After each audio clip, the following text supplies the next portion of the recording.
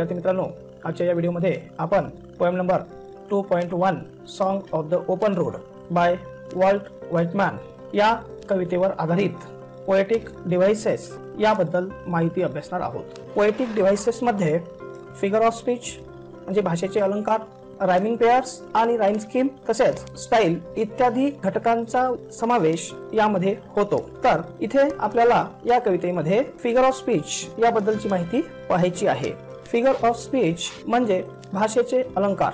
अलंकार या शब्दावरून आपल्याला लक्षात येतं की दागिना ज्याला आपण म्हणतो ज्याप्रमाणे आभूषणे किंवा दागिने जे मौल्यवान धातूंपासून बनवलेले असतात आणि त्यांच्या वाप- वापर केल्यामुळे व्यक्तीच्या सौंदर्यात भर पडते किंवा वाढ होते. त्याचप्रमाणे भाषेमध्ये सुद्धा वेगवेगळ्या प्रकारच्या शब्दांचा वापर करून त्या भाषेचे सौंदर्य वाढविले जाते. त्याला भाषेचे अलंकार म्हणजेच फिगर ऑफ स्पीच असे म्हणतात. तर भाषेचे अलंकार अभ्यासाचे कवितेमध्ये जे जे अलंकार येतात त्यांचा अभ्यास करत जाणार. मग पुढील कवितांमध्ये जे वेगळे अलंकार येतील त्याचा अभ्यास तिथे करणार. याप्रमाणे आपण अभ्यास करणार आहोत.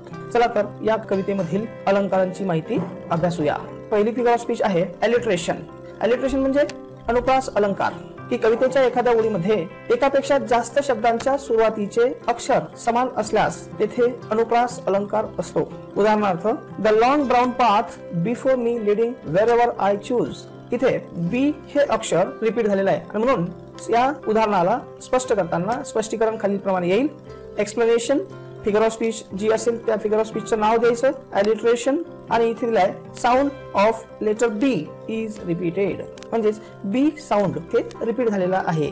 म्हणून म्हणजे या शब्दांच्या सुरुवातीचं अक्षर बी लेटर आहे. हे आपल्या लक्षात घेता येतं. त्याचप्रमाणे example number two a foot and light hearted I take to the open road इथे टेक टू अशा प्रकारे आणि इथे द पण आहे परंतु दचा उच्चार वेगळा आहे परंतु या दोन मध्ये उच्चार समान आहे साऊंड समान आहे आणि म्हणून इथे टी रिपीट झालेला आहे. त्यानंतर example number three postpone no more need nothing इथे नो नीड नथिंग म्हणजे एन हे अक्षर रिपीट झालेलं आहे असं आपल्याला सांगता येतं. त्यानंतर म्हणजे स्पष्टीकरणामध्ये असंच तुम्हाला द्यावं लागेल पूर्ण. Explanation alliteration sound of letter N is repeated त्यानंतर example number four done with indoor complaints libraries querulous criticism आणि इथे कंप्लेंट्स क्रिटिसिझम आणि उच्चार देखील आपल्याला समान दिसतोय. म्हणून इथे सी हे लेटर रिपीट झालेलं आहे. त्यानंतर example five the earth that is sufficient इथे पुन्हा टी हे अक्षर रिपीट झालेलं आहे आणि उच्चार समान आहे. म्हणून इथे टी रिपीट आहे. Alliteration sound of letter T is repeated अशा प्रकारचं स्पष्टीकरण या एक्झाम्पलचं होईल.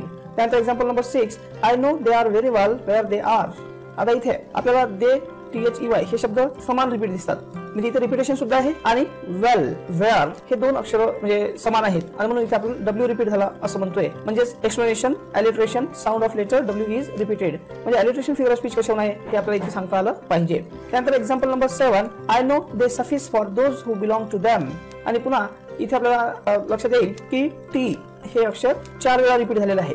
आणि म्हणून आपण याचं स्पष्टीकरण लिहिताना explanation alliteration sound of letter T is repeated असं आपल्याला स्पष्टीकरण लिहिता येतं. त्यानंतर example number eight I carry them with me wherever I go इथे विथ मधील डब्ल्यू आणि वेर एव्हर मधील डब्ल्यू रिपीट झालेला आहे. आणि म्हणून इथे डब्ल्यू हा साऊंड रिपीट झाला असं आपण सांगतोय. त्यानंतर example number nine I swear it is impossible for me to get rid of them यामध्ये वॉवेल साऊंड आय हा रिपीट झालेला आहे. आणि म्हणून इथे आपण आय रिपीटेड झाला असं सांगतोय. त्यानंतर या कवितेमधील सेकंड फिगर ऑफ स्पीच आहे रिपिटेशन रिपिटेशन म्हणजे काय? पुनरावृत्ती अलंकार. ही कवितेच्या एखाद्या ओळीमध्ये चरणा किंवा चरणामध्ये एखाद्या शब्दाचा पुन्हा पुन्हा वापर होत असेल तर त्याला पुनरावृत्ती अलंकार असं आपण म्हणतो. उदाहरणार्थ बघा example number one henceforth I ask not good fortune I myself am good fortune म्हणजे इथे गुड फॉर्च्यून आणि इथे गुड फॉर्च्यून हे शब्द रिपीट झालेले आहेत.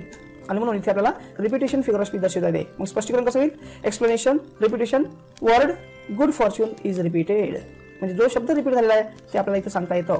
त्यानंतर example number two I carry them men women I carry them with me wherever I go यामध्ये आय कॅरी देम एवढे शब्द रिपीट झालेले आहे आणि म्हणून इथे आपण लिहितोय explanation repetition words carry them are repeated त्यानंतर example number three I am filled with them and I feel I will fill them in return इथे फिल तसेच देम हे दोन शब्द इथे रिपीट झालेले दिसतात आणि म्हणून इथे आपल्याला फिल इथे दिलेला आहे इथे तुम्ही देम सुद्धा लिहू शकता तर अशा प्रकारे इथे रिपिटेशन फिगर ऑफ स्पीच आपल्याला लक्षात घेता येतं. यानंतरची फिगर ऑफ स्पीच आहे तिसरी फिगर ऑफ स्पीच आहे या कवितेमधील मेटाफोर ज्याला आपण रूपक अलंकार असं या नावाने ओळखतो. उपमेय व उपमान हे एकसारखेपणा दाखविताना एकरूप आहेत.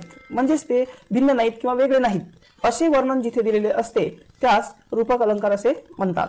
थोडक्यात दोन वेगवेगळ्या वस्तू घटक प्राणी यांच्यामधील गर्भित अर्थाने केलेली तुलना जी स्पष्ट नाही तर implicit comparison between two different things as they occur same असं आपल्याला इथे सांगता येतं. आणि म्हणून त्याला आपण रूपक अलंकार असं म्हणतोय. Example number one still here I carry my old delicious burden इथे ओल्ड डिलिशियस बर्डन यावरून आपल्याला मेटाफोर फिगर ऑफ स्पीच सांगता येते बघा explanation metaphor old sweet memories are indirectly or implicitly compared to something delicious की काहीतरी delicious आहे असं आपल्याला सांगता येतं. आणि म्हणून इथे मेटाफोर फिगर ऑफ स्पीच आहे.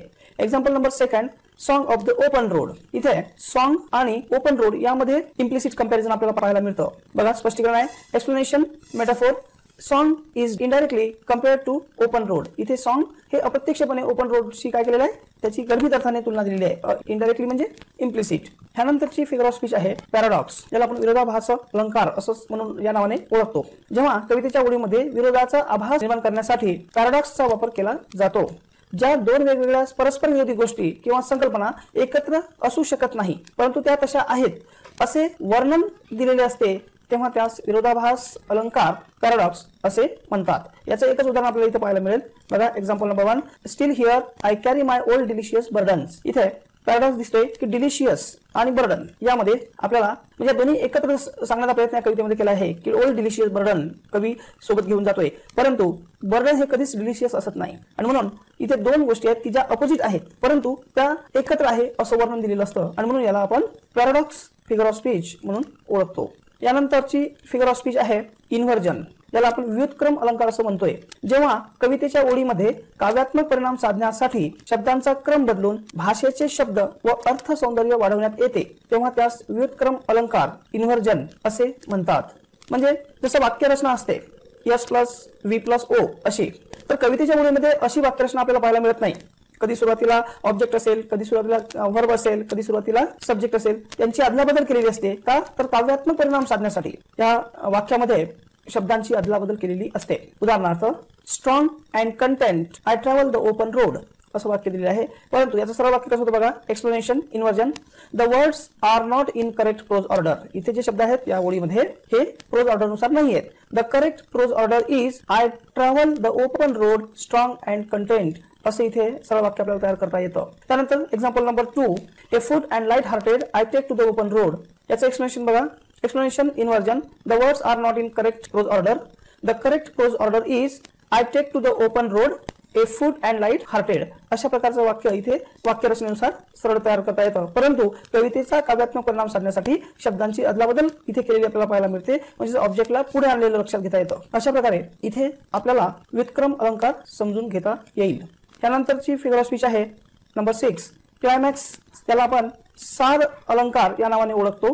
जेव्हा कवितेच्या ओळीमध्ये कल्पना म्हणजेच शब्द चढत्या क्रमाने मांडून उत्कर्ष साधलेला असतो तेव्हा त्यास सार अलंकार क्लायमॅक्स असे म्हणतात. एक्झाम्पल बघा. Done with indoor complaints libraries querulous criticisms इथे इनडोअर कंप्लेंट्स त्यानंतर लायब्ररीज आणि क्युरलस क्रिटिसिझम्स ह्या शब्दांचा चढता क्रम मांडलेला आहे.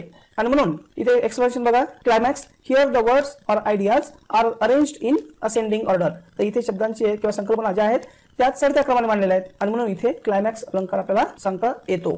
त्यानंतरची फिगर स्पीच आहे सेवन पर्सोनिफिकेशन चेतना गुणोक्ती अलंकार.